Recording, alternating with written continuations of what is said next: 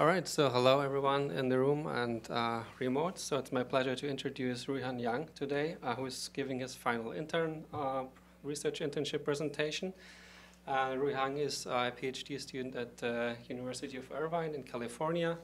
Um, he's working um, on uh, neural video and image compression models and also has also done some work on um, music representation learning.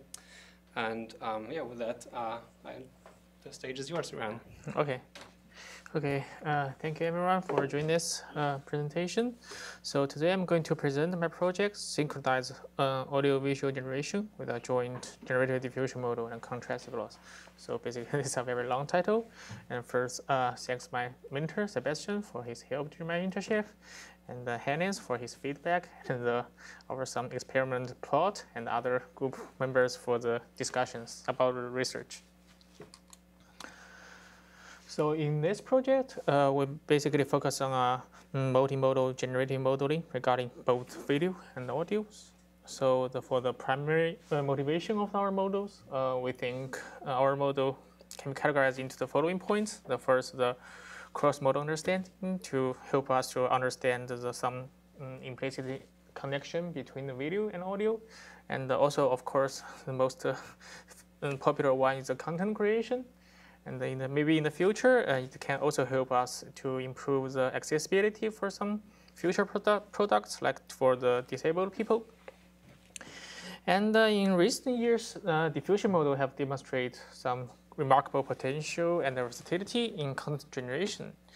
So yeah, this is a very promising result. So of course, we need to do more work on that to, to exploit more about the diffusion models.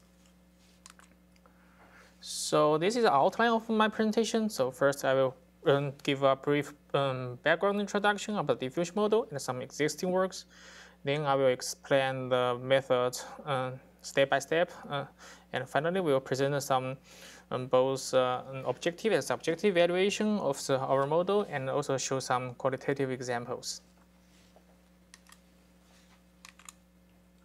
So first, uh, begin with some diffusion model background. So basically, uh, intuitively, diffusion model is about just solving a reverse and uh, diffusion equation. Uh, for here, basically, uh, we have a usually to formalize a forward SDE. What our goal is to uh, the formalize uh, the forward SDE will try to, to, destroy the signal from the data distribution to a pure noise priors. So we are seek to solve this reverse SDE to reconstruct the signal or create signal from this uh, noisy distribution. So, uh, so the core part is this uh, score function, which is a gradient of the data di distribution respect to data itself. So, so our neural network will aim to, so, to learn this result. So in, from a different perspective, uh, diffusion model is also also about a latent variable model. So just uh, we just treat this different this one model in from two different perspectives, so so that we can solve this uh, diffusion model with the with the training of the variational lower bound. So here I show some example about how diffusion model works generally. First, basically what we do is that for example, this is what we call the diffusion process, which is a stochastic process of the destroying the signal from the data and to the pure noise. However, then we would like to reverse this process by, um, by with our learned diffusion model to create data.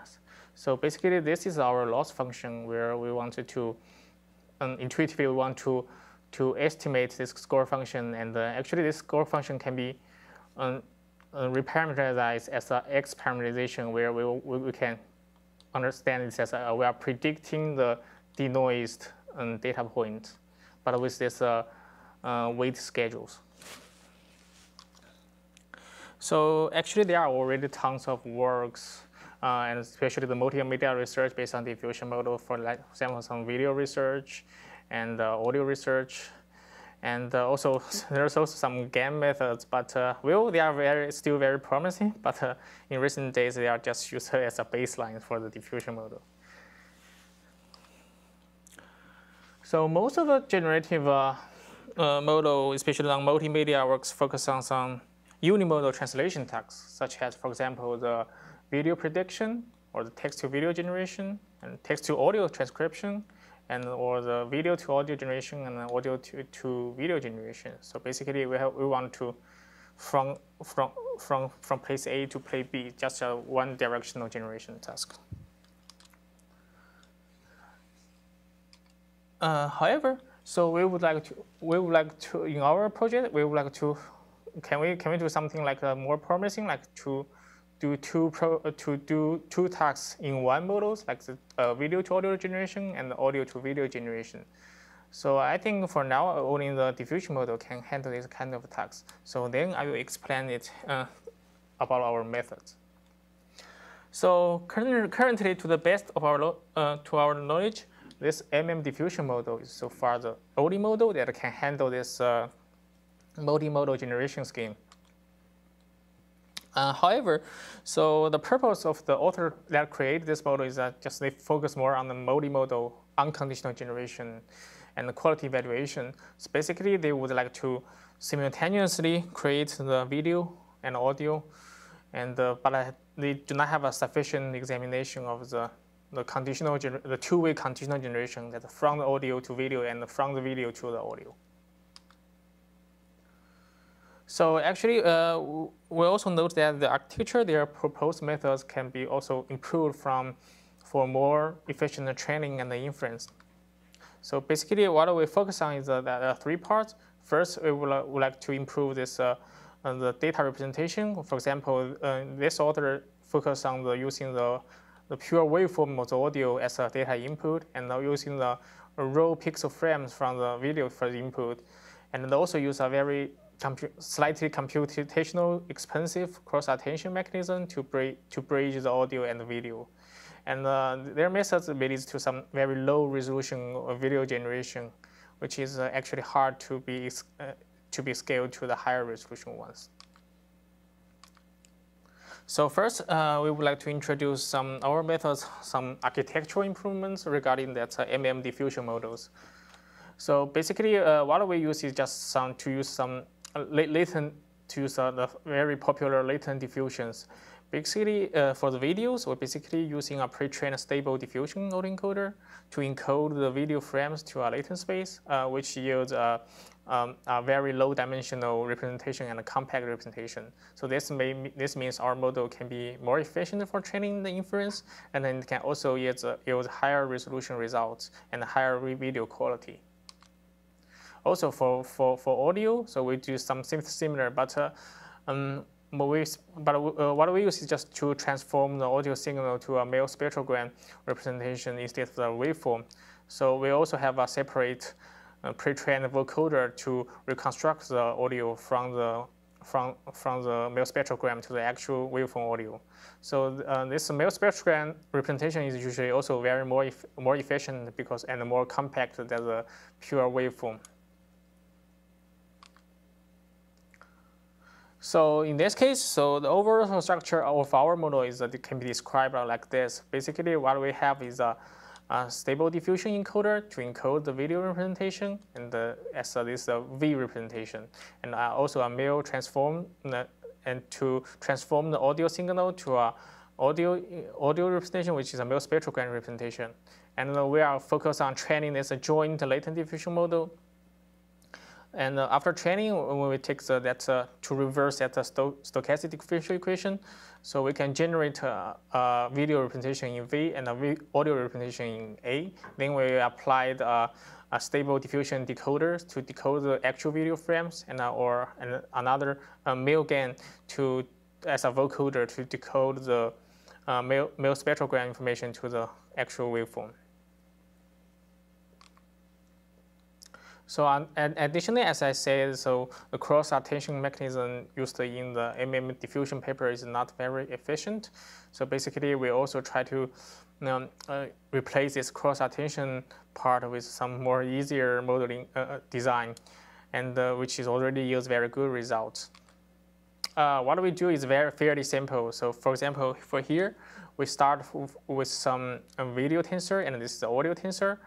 And to merge the information of the audio and the videos, we basically, what we do is just, just do some temporal interpolation of the video to the same temporal size of the audio. And we also do some max pooling. and then we concatenate these two tensor and do applying the convolution 1D channel merge to create a merged audio tensor. And for the video tensor, we do uh, some sim something similar. We also do some temporal interpolation and to inter interpolate the T2 to the same size as T1.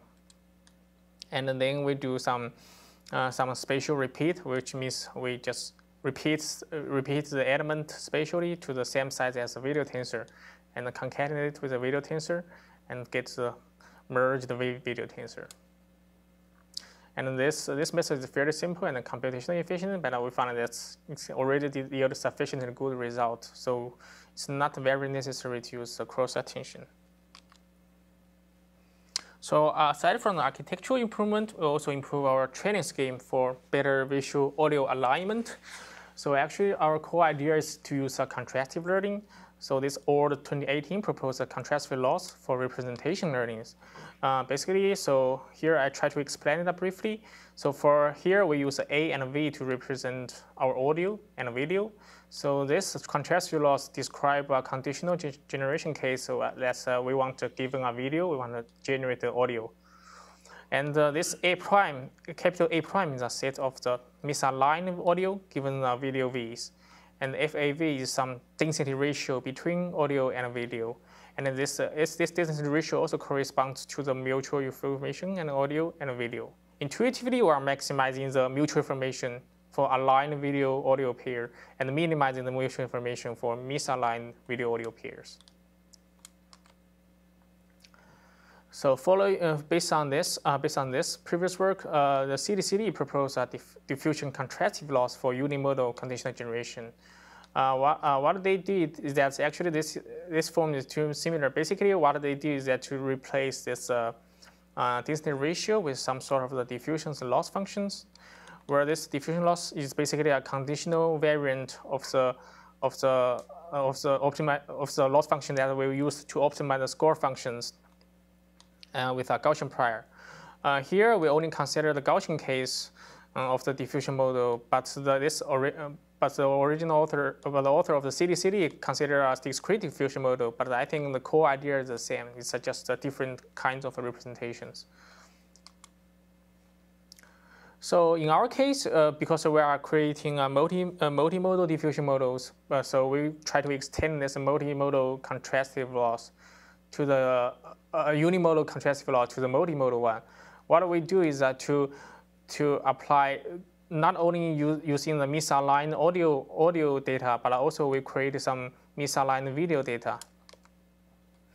Uh, in this case, our loss function is no longer no longer a conditional diffusion model, but a modeling a joint distribution between the A and V. So, but for the for the loss function, we are mean we are not only minimize, uh, minimize the score loss for the for the audio input, but also minimize the score loss for the video input.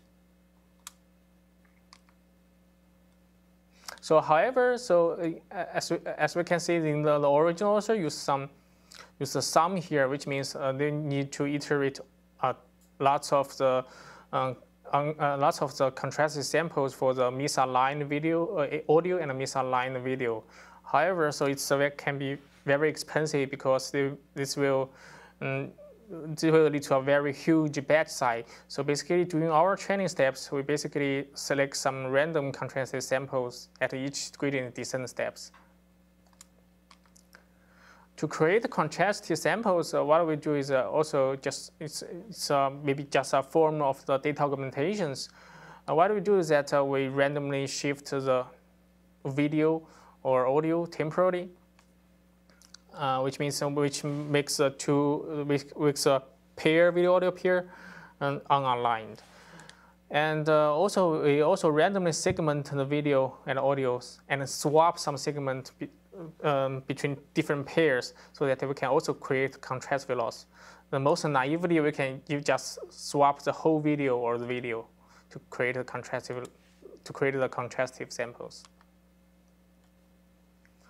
So based on the information above, uh, we can we will rebuild our model. Then we, how can we do to do to, to do the conditional generation?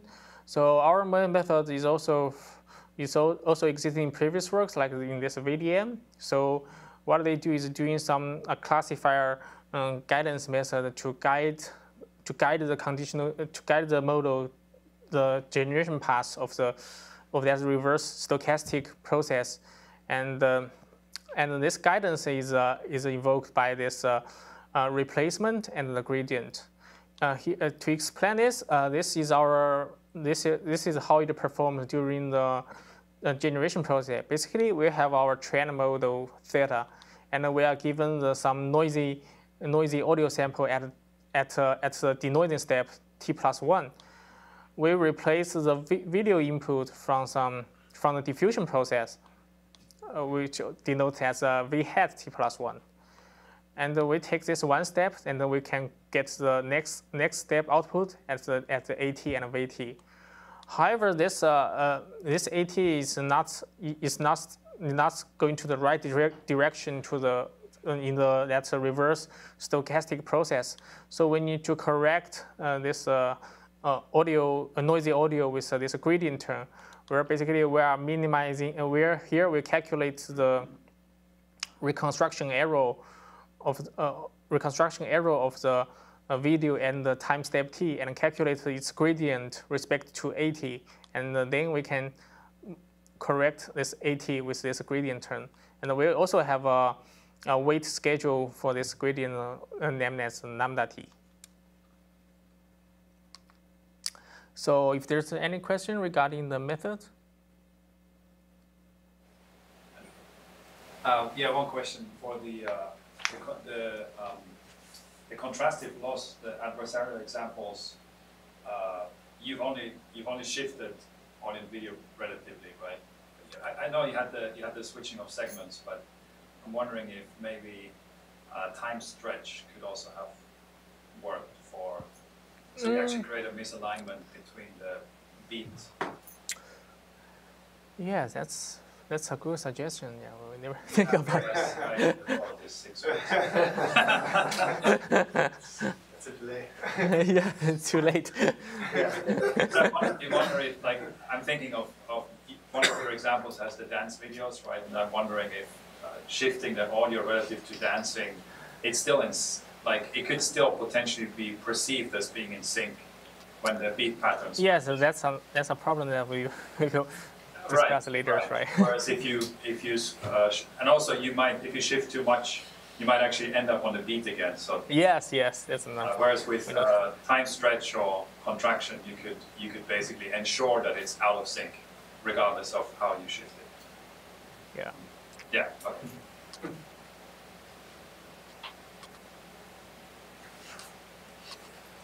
So let's dive into our uh, experiment regarding our model. So basically, we evaluate uh, we evaluate our model on three data sets. Uh, the first is the AIST++, which is actually a uh, which actually a dancing data set with a dancer and accompanying music, and uh, also an Epic Kitchen data set. So this this data set basically contains a person first person camera view of human actions inside the kitchen like the cooking or making preparing other foods or such stuff. And finally, we show some qualitative samples for the landscape datasets, which basically this dataset consi uh, consists of some more static videos of the natural, natural landscapes. So we conduct multiple evaluation for our model. So first we have some objective evaluation. So for the objective evaluation, we use some we use the FVD score to evaluate the uh, perceptual quality for the audio to video generation, and we only perform it on this dancing dataset. For the FAD, uh, we we also evaluate the perceptual quality for the audio from the uh, in the V2A uh, v, V2A transcription, and we evaluate it on the dancing dataset and the kitchen dataset. We also do some beat tracking, uh, beat tracking for the for the music alignment in the, you know, for the dancing dataset. Uh, more importantly, we also do some uh, subjective, uh, subjective evaluation and for both the audio to video and video to audio uh, evaluation uh, from, from the quality perspective and also from the alignment perspective. And finally, we will show some qualitative examples regarding our model from, from all three data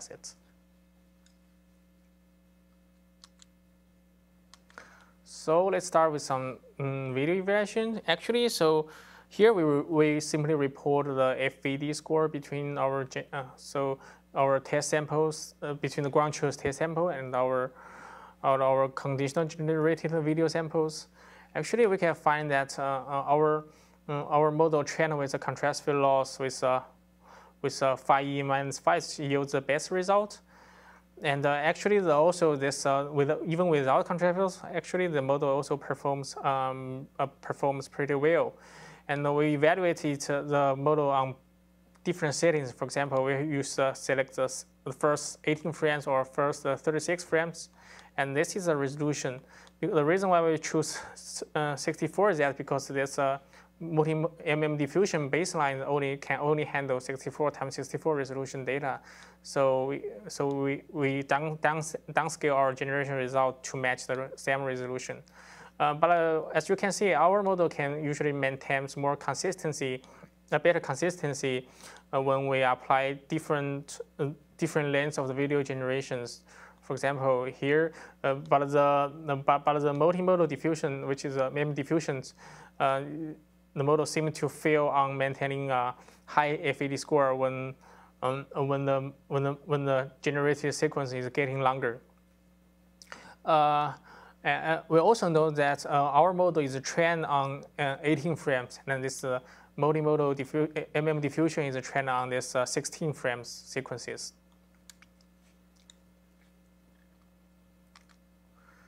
Also, uh, based, for this for the video quality evaluation, we do a uh, do a um, subjective evaluation to us, and we ask people about to rating the video quality and the temporal consistency of the generated audio, uh, generated videos.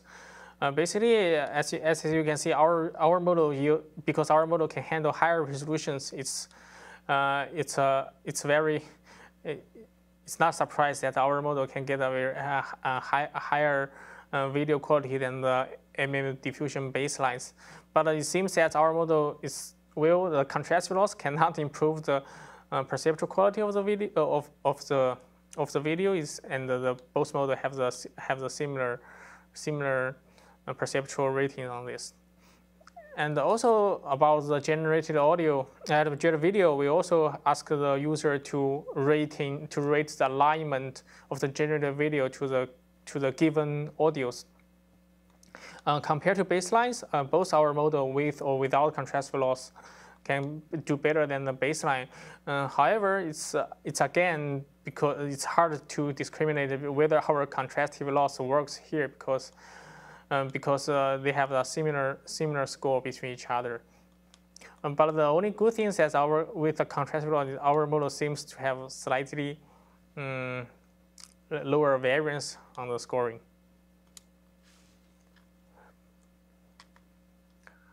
Uh, oh, and another thing I want to mention about is that because um, because the audio to video generation is not very well, I think the generated quality is not is, is not good enough. So that's it may create some artifacts that the, the dancer may, may have the third arm or third leg. So this may also influence the influence the people's evaluation.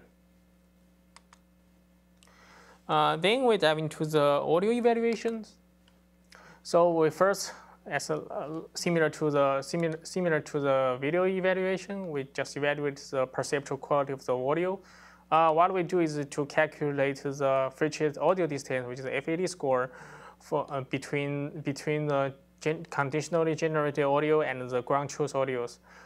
Um, unfortunately, yeah, it seems that uh, uh, while our model can can perform better than the baselines, it seems that our contrast contrast loss still not um, contribute uh, make great contribute great contributions here. So all the models have a very similar uh, FVD score uh, score as you can see here. So uh, this number shows uh, the, the the weight we applied to the contrastive loss.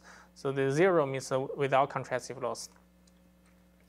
So here we show two FAD scores. The one is for the one is with a box plot.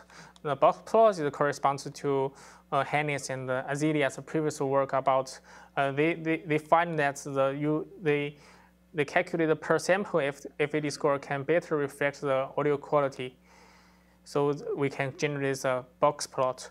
And uh, also we also attach the, the, the distribution-wise FET score, which we calculate the distribution between the generated audio uh, calculate the FET score between the distribution of the generated audio and the ground truth audio, but they still show that the difference is not much with or without contrastive loss.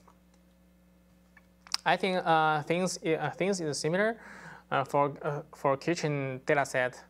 Um, the case is that uh, while but it seems that with uh, without without contrastive loss, it seems to have a a lower contrastive loss and seems to have a better result than add contrastive loss. Uh, we assume that this may caused by the contrastive loss still uh, still regular, slightly regularize the gen generated quali generation qualities. Uh, for the temporal correlations, uh, we're also doing uh, doing the to to track the beats of the generated dancing and dancing audios, and uh, we we cho to choose two different thresholds for the beat uh, for the um, bit hit rate. For example, the uh, 0.1 second means we accept we accept, only accept the the corresponding beat within 0.1 seconds. This one is a more uh, is a more uh, lower, a higher tolerance for, for that hit rate. Uh, you can see, see that, well, while our model seems to slightly performs better here with a, with a stronger contrastive loss, but well, I think, um, but that's a, it's a, it's a, well, it's not a very a, a strong result regarding to no contrastive loss. But, uh, but it's obvious that our model can still be, better than the MM diffusion baselines. Okay, here comes to the most important subjective evaluation. So because uh, here we are using the librosa as a beat tracker to track the to to track the tempo uh, tempo um, the tempo beats of the music. But I think that's uh, well, there's some tons of hyperparameters we can find, and it's uh, not very accurate. So, so we think still this in this case the subjective evaluation is also plays an important role here. So the left side shows some shows our uh, some temporal uh, temporal alignment of the audio regarding to the um, video in dancing data set. Uh, from here, what, what we can observe that from the acoustic, from both the acoustic and the musical perspective, uh, oh, here, these two metrics is not about alignment, just about the still still the subjective quality of the audios. What we can find here is that uh, the baselines have a huge variance on, on people's for people's valuation. Um, but our proposed model, while it's, uh, it's it can be looks as a slightly better than, than, than the baseline, but it's of course has a lower, uh, lo lower, it's a lower variance. And it's also worth to notice that even with a ground truth, the people cannot given the given the very high rating on the um, uh, on the on the alignment. But uh, now there, uh, we go to the temporal correlation, which is alignment of the video and audios we can find that the baseline is a it's a it's a way behind than our model, but our still our our model with and without contrast flow still perform have a similar performance. And uh, but again, the ground truth still have a very high variance on this uh, on this uh, audio uh, dancing audio test. So this this may indicate actually it's still uh, very challenging even for people to identify whether the audio or video have a good alignment for that, uh, for that uh, music and dancing stuff. However, uh, the most interesting part is our kitchen test sets. So here we are, we are testing our uh, contrast. We, we don't have the baseline models here, but we compare our model with our model with contrastive loss. Uh, what, I can, what we can observe is the the acoustic quality of our model uh, of the two two model have a very similar performance, But the, both the semantic alignment and temporal alignment is has a has a huge gap between each others. For, for, for this one, for the semantic alignment, because here you can see it has a high has a higher rate than model without contrastive loss. Now for temporal alignment, it's also a huge gap between the contrastive loss and non-contrastive loss. So because this kitchen data set consists of some just just very have some strong audio visual correlation events like the, uh, you cook something, you have some hand movement, or you have some your your spoon or other stuff, you are cutting something. So there is very strong video and, uh, and audio correlation. So so we think so our contrastive loss seems to perform pretty well in this case.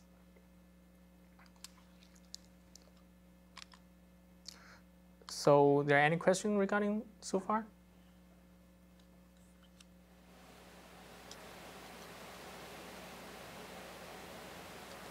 How many judges you have here? How, how many users? Yes, judges. Uh, I think it's uh, 11 or 12. Yeah, 11 or 12. It's 11. You just got two more. but those are all 11. Yes. Um, with respect to these uh, ratings, um, so with uh, particular participants may have uh, particular biases towards one uh, space or another. If you were to standardize these ratings, for example, by applying a z-score, I wonder what the uh, what if any differences there might be. So essentially, each person is normalized within their own ratings. Uh, that's um, yes.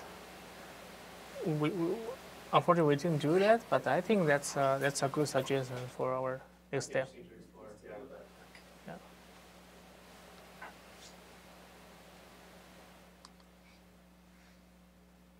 So finally, uh, I'm going to show some qualitative samples and to show to have a to show how our model works here. So for example, this one is our model uh, generated the audio with a dancing uh, dancing video with a contrastive loss. Sorry? Oh, okay, let's give the controls first. Do I need to play again? There's some, some audio missing at the, I think it's a, because it's a speaker's problem, but I think it can still reflect something. And this is our contrastive loss one. And this result without contrastive loss.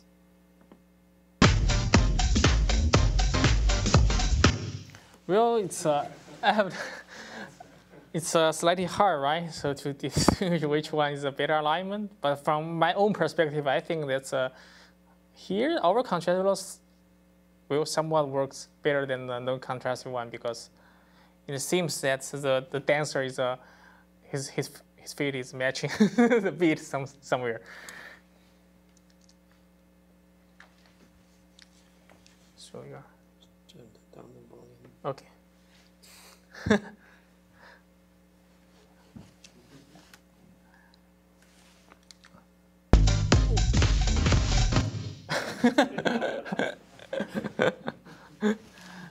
uh, let me show some example with some generated audios with the same dancing and the same hand movement in the kitchen.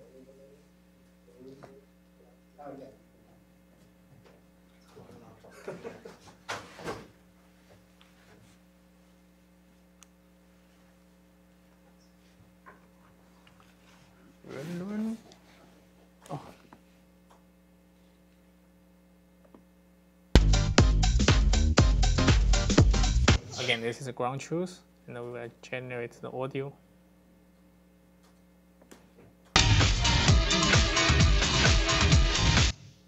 And this is a no contrastive loss generated audio.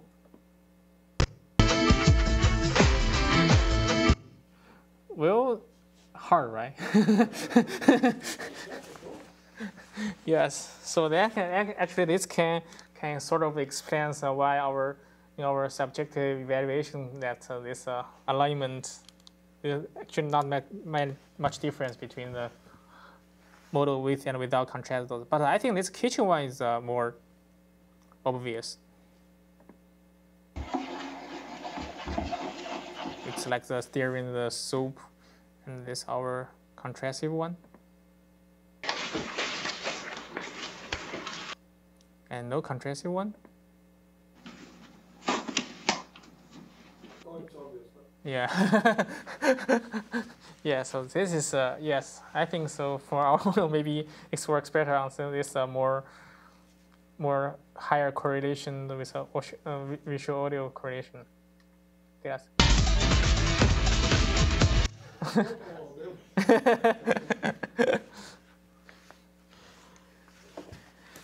Oh, here. So also I, we do some qualitative examples on this on the landscape data set. We didn't do very, we didn't do evalu- uh, some any evaluation on it. We just show some examples because this data set is a very just some some static landscape uh, video. video and audio. No, that's a unconditional generation. Okay. So basically, we generate both audio and video from the noise at the same times. So here, both are sam- are sample audio. For example, this is uh, some ocean stuff. Yes. uh, So the reason why it's too short that I find that uh, this uh, this the model trained on this uh, data set cannot work doesn't doesn't quite work so when when when I try different different number of frames. So yes, here I just show the six, uh, the just 18 frames. So what we use is a 10 frame per second. So that's uh, just uh, 1.8 second. It's another one. Well, it's supposed to be some sound at the beginning, but it seems. Make it a GIF and play it in infinite loop. yeah, can I do this? Not here.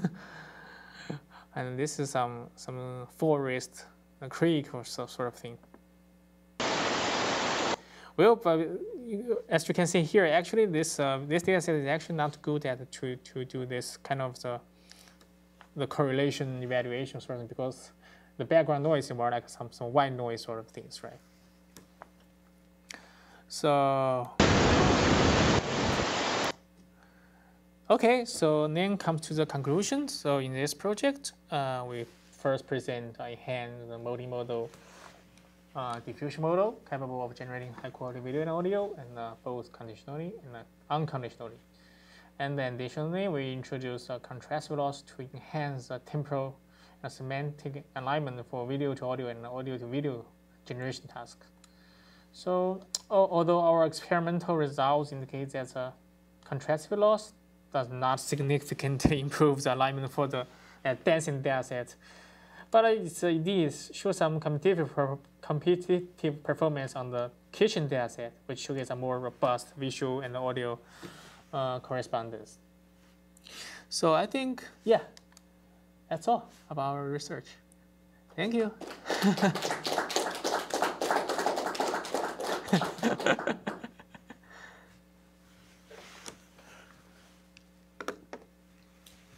All right, very cool. Um, any questions from the audience or online? You can uh, write them in the chat or just unmute yourself and talk. So videos are only 64 by 64 pixels. Oh know, 128. What prevents you from going higher? It's uh, it's from the the GPU capacity for our research. So uh, it's a the time. computational limitation. Uh, yes, actually, we can try higher if we have enough time and the resources. How about the audio? What is the Sample rate, so- yeah. yeah, the six uh, 16k hertz.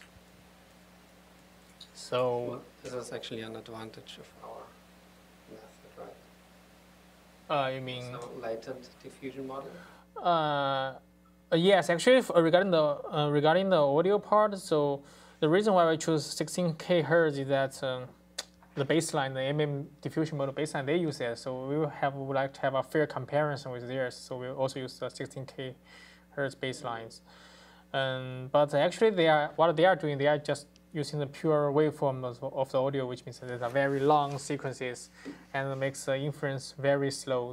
So what we do is uh, to use a Mel spectrogram to sort of uh, compress the representation and uh, and then it's another method to make our model training faster and uh, That MEL to waveform converter, does it have the limitation of sixteen kilohertz or it can go, or it can go higher? I think it can go higher. Yeah, like for both, like both, like for, for the images, we used the uh, or the encoder and decoder from Stable Diffusion, and that uh, can handle also any resolution. And you can also train the, the MelGAN vocoder on any audio resolution that you like. So that's kind of flexible to decouple the, the resolutions from the, the diffusion model. So technically, what prevents you from higher quality audio and video is just computational resources limitation. I, I think for audio, I think so the, the limitation is not Is not there. is actually not there. So, so actually, now. directly with this model, without retraining, we could generate 48 kilohertz audio. We just essentially can swap out the vocoder. I'm not sure if this works for the video encoder. You might have to retrain the whole thing, Uh, right? Because I I don't know if the tried it. representation will be identical that the It's video I think- you. Well, yes, theoretically it should be, but in practice, I'm not sure.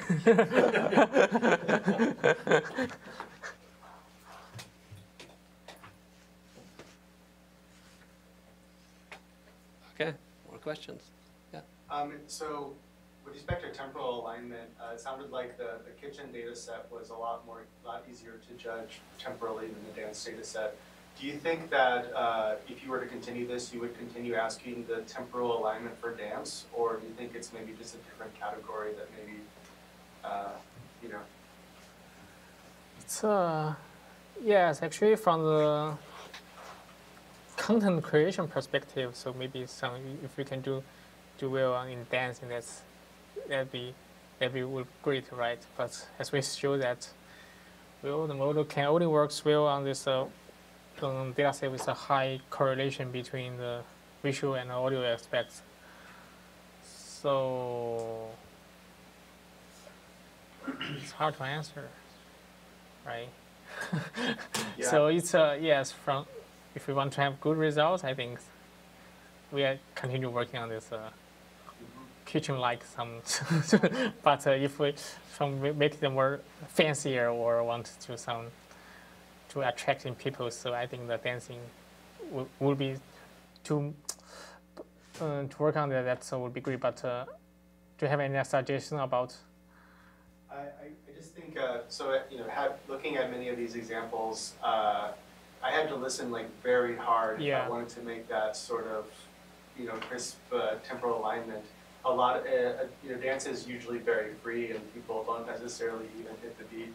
Uh, they may be feeling the beat, but, um, so I, I was thinking maybe, you know, that, that may not be a, a, a I, I'm not sure if, te- if temporal alignment is the right metric, maybe tempo instead or something like that.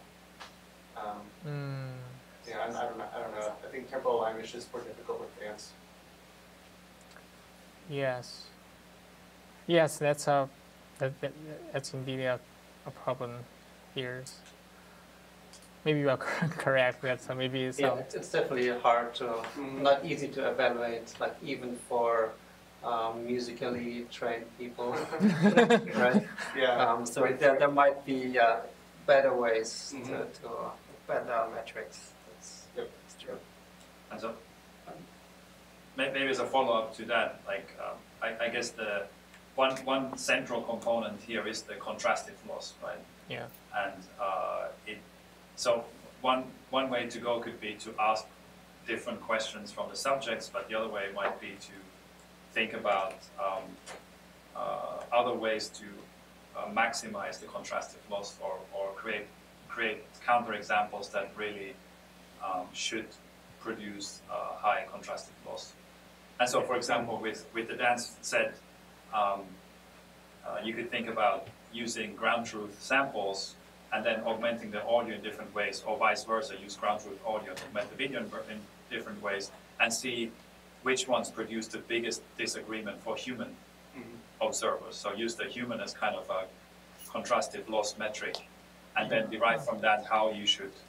Because yeah, to the point, like with dancing, you can probably shift the beat like plus minus ten percent, and it still looks like it's on it's in sync because the, the dancer just might have different ways of following the beat, right? They might be a little early or a little, little late, but a human might be able to tell these look the same to me or this one is completely off. And same with the other methods you had, like swapping segments around, both for, for dancing and kitchen. Because it, it feels like the, if, if, if, the, if that loss is a central component of your method, and uh, you, rather than having to guess what, what good contrastive examples might be, uh, it might be it might be good to explore that a little more. Like, Yeah, I agree, but that's uh, tons of extra works, right? Yeah. Regarding study. it's- yeah, you don't have to do this by tomorrow. End of the day.